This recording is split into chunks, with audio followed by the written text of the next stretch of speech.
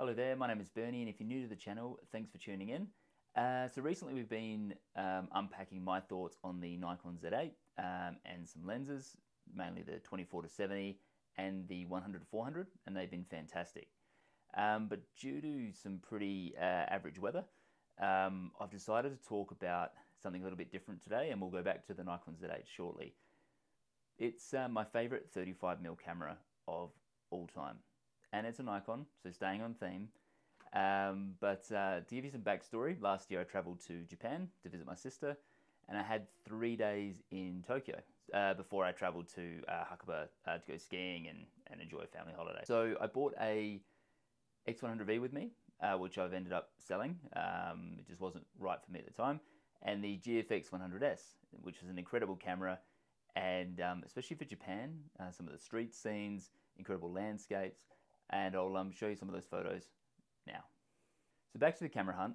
Um, I decided when I went to Japan, rather than just aimlessly walk around stores trying to find a, an interesting camera, um, I'd head to uh, Sh uh, Shinjuku uh, province um, and check out some of the stores like Map Camera, uh, Kitamura Camera, which is my absolute favorite. Um, and, and Map and the other stores were great, um, but um, Kitamura was just incredible. And um, when I was talking about my trip with one of the camera store owners here in New Zealand, they recommended instead of just wandering aimlessly and trying to find you a, a new film camera to buy as a bit of a token memento of your trip, to pick a camera before you go because there are thousands and thousands of options, uh, all of them amazing in Japan.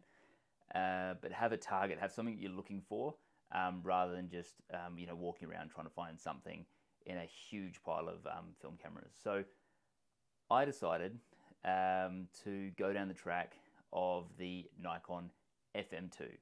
So this has been my favorite uh, film camera uh, since I uh, received it about 14 years ago, and I didn't actually buy this. Uh, I was actually given it by um, somebody, uh, an ex-reporter at the Advertiser, which is a newspaper in Australia. Uh, so super lucky. Um, they just weren't using it anymore. And um, so, long story short, I decided to go after a variation of this. And this is the original FM2. So as you can see, super, you know, robust, you know, kind of brassing, um, something that I can just throw around, chuck in a bag, head down to the beach. I just don't need to worry about it if it knocks against things because it's already been kind of beaten uh, to death anyway. Um, so I absolutely adore this camera. So instead of going after another one of these in better condition, I decided to go after a, a model that came a little later. So the Nikon FM2 came out in 1982, um, so well before my time. Um, and this one here is the Nikon FM2T. So a variation of the Nikon FM2, uh, the T standing for titanium. And as you can see by the color there in the body, um, the Nikon FM2 is made of a titanium outer casing, which makes it lighter and a lot more durable. And I think it just looks incredible as well. So this was the camera that I went after, and the team at Map Camera were amazing, and I ended up buying the FMT from them uh, before making my way to Kitamura, uh, which is only a short walk from Map Camera anyway. So a great area to go camera sh uh, shopping, and I bought the 35mm f2 from them. And again, great, helpful team, um, and incredible customer service as you would expect uh, in Japan. So what is the FM2 and the FM2T? Um, so it's a 35mm camera. So they're virtually the same camera. So in terms of the use, uh, the features, um, and things like that, the, the, the, major difference here is the Nikon FM2T has that titanium body, making it a lot lighter and obviously stronger as well. So it's a fully manual camera, lacking a lot of the semi-auto or auto exposure modes, uh, which is like you know, part of the reason that you would want to pick up this camera. It uses manual focus f-mount lenses um, and it features a through the lens light meter and it's coupled with both the shutter speed and the aperture settings to calculate the exposure. So the camera is stripped back for just essential and minimal control as you can see there on the top dial. Um, so it just gives you everything you need but nothing more. And that's the benefit of a camera like this. It's tactical, it feels great in the hand and it just works. So essentially you're getting everything you need, but kind of no additional frills. But that's part of the the essence and the reason I, I love this camera and I keep coming back to it because it gives you that experience, it gives you that thing that you want with a with a film camera rather than having all those bells and whistles and just overcomplicating what doesn't need to be um, a complicate a complicated situation. You know, it's a it's a light tight box with a roll of film and a light meter. Otherwise, everything else is manually controlled. So you've got that experience that you're looking for when you pick up a film camera, which is excellent.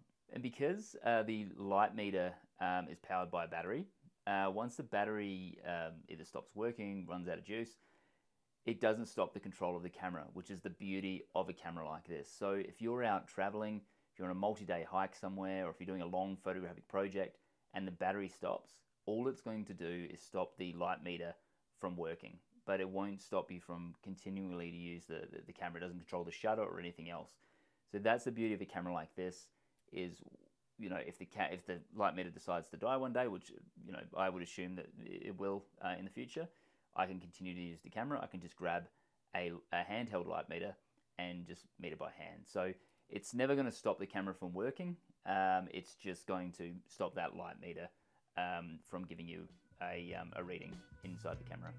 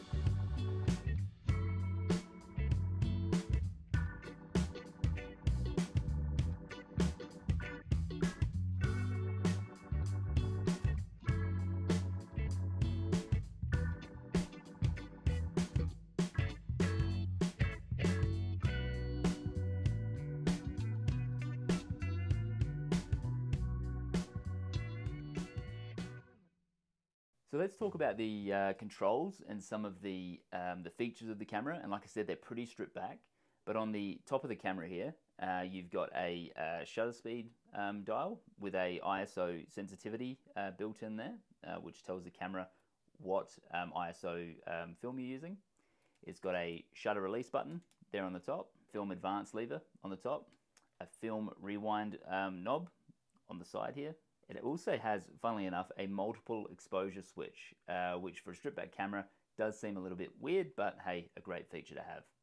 And on the, on the front of the camera here, it's got a depth of field preview lever, a self timer lever, a lens um, release button, um, and then on the bottom of the tripod holds the tripod socket, a film rewind button, and a battery compartment, which, as discussed before, just powers the light meter.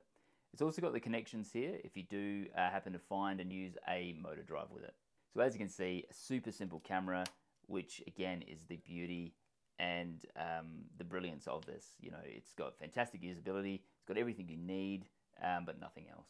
So why did I end up buying this? So I first received the FM2, the original um, black one here, uh, 14 years ago uh, from a journalist at the Advertiser, a newspaper in Australia.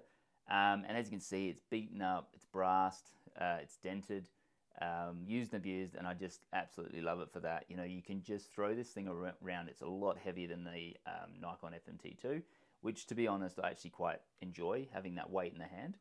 Um, but it just it looks great, and um, it's just a camera that I've just continually uh, continued to come back to. And uh, other photographers have mentioned like the FM3A uh, which has you know auto um, uh, controls and things like that. But I just find that additional electronic element distracts from what is essentially a fantastic camera to use.